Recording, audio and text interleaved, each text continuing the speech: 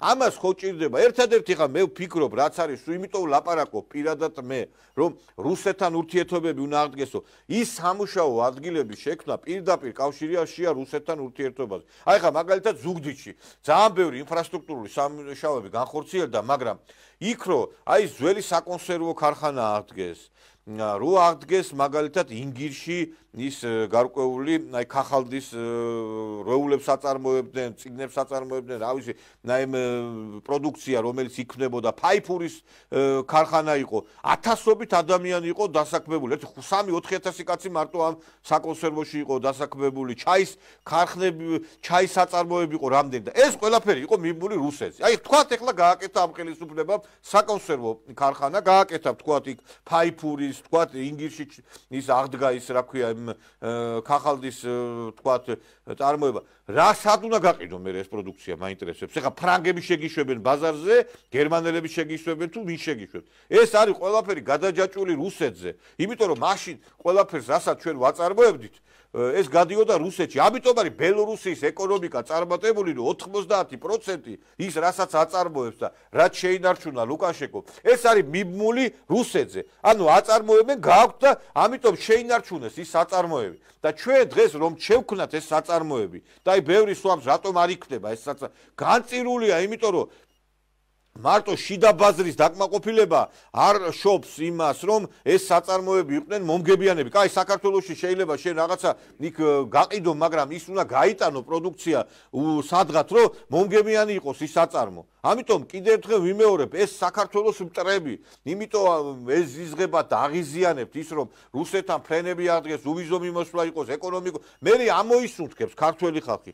ამოქმედება საწარმოები, ქარხნები, ფაბრიკები, ის ხალხი დასაქმდება. აი ხა, ბევრი დასინოდა იმ ხალხს, რომ აი დასავლეთში წავიდნენ, დაიცალა თბილისი. დიახ, თქვენ რა გონიათ? ეხლა სამუშაო ადგილები რო იყოს? ეს ხალხი მარტო იქ აღდგომაზე კვერცხის გადასაბრუნებლად და სასაფლაოებზე მისასვლელად წავა. წავა ყველა ისევ დაბრუნდება იმ თავის ქუთაისში ოზურგეთში ზუგდიდში იმ ბათუმში წავა. იმიტომ რომ სამუშაო ადგილები რო არ არის იმიტომ ჩამოვიდა ეს ხალხი თბილისში. ისე უყვართ ამ ადამიანებს რომ არ ივიწყებენ ამ ტრადიციებს და მიდიან მუდმივად იმ დასავლეთში თუ აღმოსავლეთში კახეთში რომ ეს თავისი მიწის ყივილი აღვიძებს ამ ადამიანებს და ჩვენ ერთი რამე უნდა ვიცოდეთ რომ აი როდესაც არის ქალაქში მოძრაობის პრობლემა არის გამონაბოლქვი არის აი ეს ეს შენებლობა თავკომპალად იქცარქეთ ეს სწორედ აი ყველაფერი აი როგორც ყველა პრობლემა მიდის რუსეთთან ურთიერთობაზე. იმიტომ რომ საწარმოები რო გაკეთდება ის ხალხი დასაქმდება და ის ხალხი არ ეყოფა იქ ვიცხოვრობს, იმიტომ დაცლილია რეგიონები, ავტომატურად ეს ხალხი დაბრუნდება იქ მასში, რა ქვია, თავიანთ ადგილებზე, სამუშაო ადგილების გამო, მერე განიტვირთება ეს ხალ დედაქალაქის და პრობლემა არ იქნება და შეიქნება დამატებით დოვლათი ამ ქვეყანაში. აი, და ეს ყველაფერი შესაძლებელი გახდება ამის განხორციელება რუსეთთან ურთიერთობების შედეგად. დღეს თავარი, აი მე მერთხელ დავესწარი მტკნარ მტკნარ წყლებთან დაკავშირებით იყო კონფერენცია გიორგაძე მართავდა და ჩვენო მილიონრები უნდა ვიყოთო. კაცო თითეული ქართველიო იძახდა ეს კაცი და ჭვიანი კაცი იყო პროფესორი გიორგაძე და ბატონმა ბიზნესმა თქვა აი კი ბატონო აი გაჩააწი აშენდა საწარმოები აი ამ მიმართულებით. სად შევიტანოთო ეს ჩვენი წყალიო? აიო ესპანეთშიო საფრანგეთშიო და ვინ შეგატანინებს ვინ?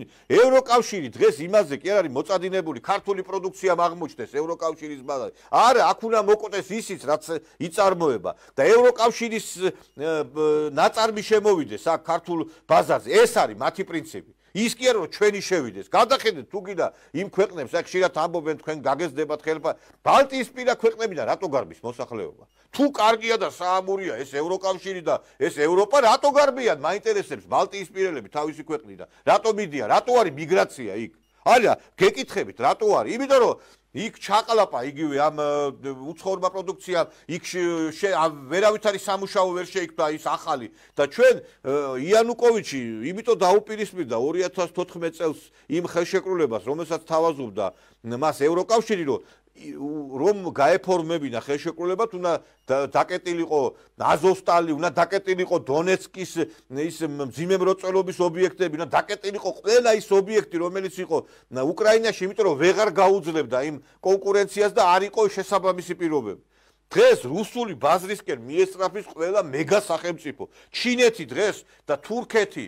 რა ვიცი იმაზე არიან ორიენტირებული, რომ გაიტანონ ეს პროდუქცია. აზერბაიჯანი, სომხეთი იმას იმით არის დაკავებული, რომ რა ვიცი, ოღონდ რუსული ბაზარი არ დაკარგოს და ჩვენ ესე ეს გვეუბნება ეს ნაძირლები, რომ არე რა თქვინა რუსული ბაზარი, ეს კელიდეგდანი გამოვიდა. რა თქვინდა თუ თქვენო რუსული ბაზარიო, რა თქვინდა თუ თქვენო უვიზო მიმოსვლაო. აგერო იმაში წაიღეთო პარიში და საფრანგეთში. ის რაში ჯანდაბა თუ და ქართული მანდარინი და პორტოხალი ერთი იქ იმისი არ იყოს, რა ქვია, შერეკილებში იქაც ეყოფა თავიანთი ისა ვაშლიო იქ წაიღე გასაყიდათო იმისი არ იყოს, რო ეუნებიან.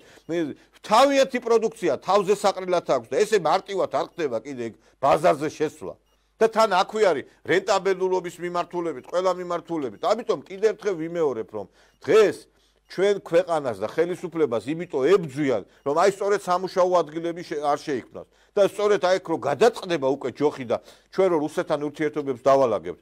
ის ხალხი მარტო იქ კი არ წავა იმაზე აღდგომას თავიანთი მიცვალებულების საფრავებზე. ის ხალხი დაბრუნდება დასავლეთში, დაბრუნდება აღმოსავლეთში და იქ იცხოვრებს და არ მივიღებთ ამ თავკობალა ქალაქებს, როგორიც არის დღეს აი მაგალითად თბილისი. იმიტომ რომ რაც არ უნდა კახი კალაძემ გააკეთოს, მაინც იქნება პრობლემა გადაადგილების, მაინც იქნება პრობლემა აი ამ ესე იგი ეკოლოგიის მიმართულებით, რაც არ უნდა 1000 პარკი გააკეთოს, იმიტომ რომ ყველა თელი საქართველოს თავმოყრილია დედაქალაქში.